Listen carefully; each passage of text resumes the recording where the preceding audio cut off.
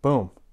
Having a pregnant mother exposed to LPS changes the fetuses, the male fetuses, testosterone.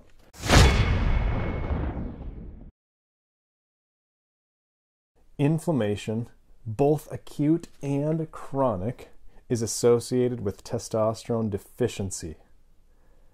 Let's talk about these scientific research papers. Further information, more information about how testosterone is might be lowering in your case and how to fix it.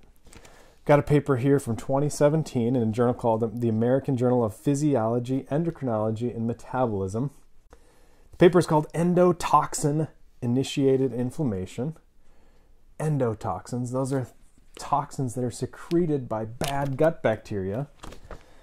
Endotoxin initiated inflammation reduces testosterone production in men of reproductive age, drops your testosterone. This is something nobody's talking about. That's why I'm interested in it. You know, yeah, people are talking about testosterone lowering and dietary things, supplemental things, and we'll talk about that in a, in a couple upcoming episodes because I'm interested in that. But endotoxins, what are those? Well, again, inflammation, they say, associated with testosterone deficiency. One potential trigger for inflammation, this is all just quoting from here from this paper, trigger for inflammation is the passage of intestinal bacteria into the circulation due to breakdown in mucosal barrier integrity. What does that mean? It means your gut bacteria, You've got leaky gut, you know? Remember, that's just one cell thick, your intestine. One cell thick. And yeah, you've got some mucus, and then you've got bacteria. And what happens is that mucus is breaking down. We've got these poor diets, these inflammatory diets, oftentimes, full of whole grain goodness and you know other things that are causing problems. You end up with gut bacteria in your circulation in your blood. One potential trigger for this inflammation blah blah blah. And by the way next episode we'll talk about stress. We'll talk about inflammation and how that relates to testosterone. Because there's different kinds of inflammation. There's different kinds of stress. It's important to kind of be precise in that conversation but for today got you got bacteria in your blood you know? And they say this may cause androgen deficiency, testosterone deficiency. To test this hypothesis, we analyzed the relationship between serum levels of LPS, lipopolysaccharide binding protein, LPB actually is what they are looking at, but whatever, LPS, that's one of these cell wall components, bad bacteria, um, against male reproductive hormones, inflammatory markers, and fat, adiposity. So they say adiposity, in other words, obesity, was positively correlated with endotoxins. You know, when you're too obese, increases inflammation, increases these bad bacteria in your blood. Um, and inflammation was negatively correlated with testosterone. So the more obese you are, the lower your testosterone was. The more inflammation you had, the lower your testosterone was.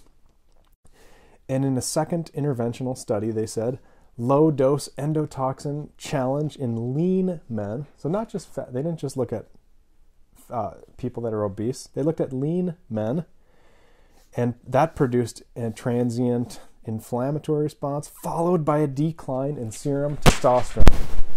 So, whether you're obese or whether you're lean, if you've got LPS, lipopolysaccharide, gut bacteria from bad bacteria in your gut, leaking into your blood from leaky, you know, intestines, leaky gut.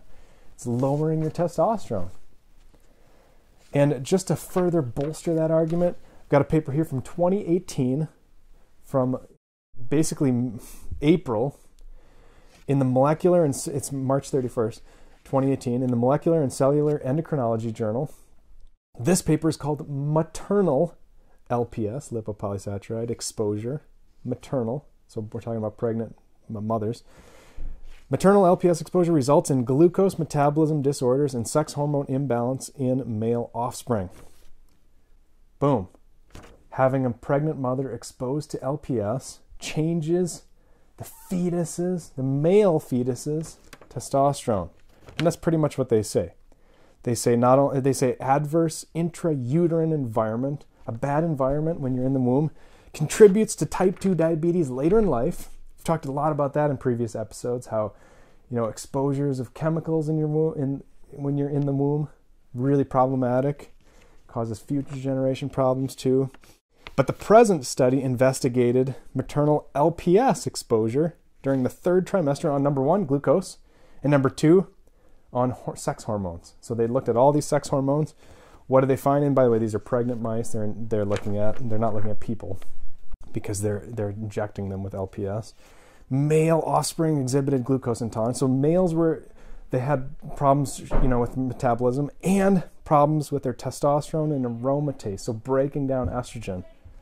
So that's the big finding. They didn't find that in the female offspring, just in the male offspring. So really interesting finding. Most people are overlooking it. My kids are making noise upstairs, so I gotta go. But we'll talk next time about stress and testosterone.